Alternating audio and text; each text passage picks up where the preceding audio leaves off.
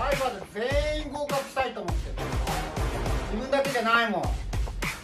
一問でも多く努力していこうだからって諦めないそれともそんな簡単に手に入るものが欲しいの必ずできる必ず必ず必ずだチャンスを感じろ手を抜くな先延ばしにするな諦めたい時でもやる気が出ない時でもそれでも挑戦し続けるんだよ。